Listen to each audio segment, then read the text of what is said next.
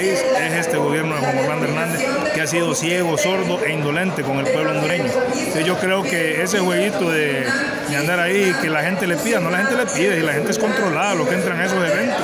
A esos eventos van ya la gente, los guías de familia, toda la gente que va ahí, ya les dicen qué es lo que tienen que decir. Entonces yo creo que no sigamos martirizando al pueblo creyendo o asustando lo que va a seguir Juan Orlando Hernández cuatro años más porque ni quiera Dios. El avance de su movimiento y las posibilidades de unidad.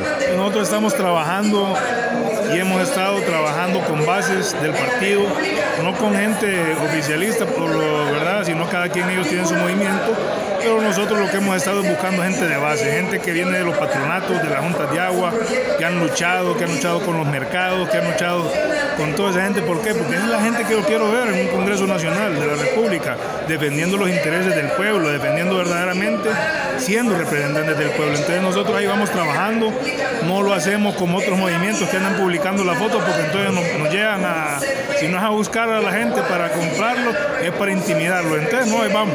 Y esta elección ahí se va a ver el día de mañana en las elecciones primarias, que cuál es la voluntad del pueblo hondureño. Debe preocupar la estrategia del jefe de Estado después surgir que es un reclamo, un clamor popular de que continúe cuatro años más.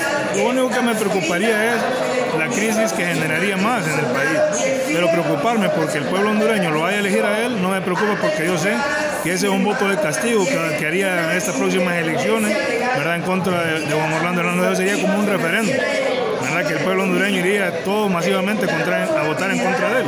Entonces, más bien que no nos esté metiendo temas que puedan desestabilizar el país, que deje de generar esas crisis que nosotros conocemos a su estrategia, que es muy bueno para generar crisis en el país. Brevemente, si él llamara a la unidad como líder del Partido Nacional. Nosotros lo que le hacemos es un llamado a todos los buenos nacionalistas, ¿verdad? no a los Juan Orlandistas, porque hay Juan Orlandistas que son los que están ahorita eh, trabajando ahí con él y están los nacionalistas verdaderos, los que compartimos los principios y valores de nuestro partido.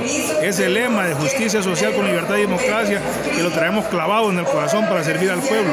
Hago el llamado para que verdaderamente estas próximas elecciones vayamos a votar por el bien de Honduras, hombre, que ya nos quitemos. Aquí con criticar o con decir la verdad no es que estamos peleando o es que estamos enojados, jamás.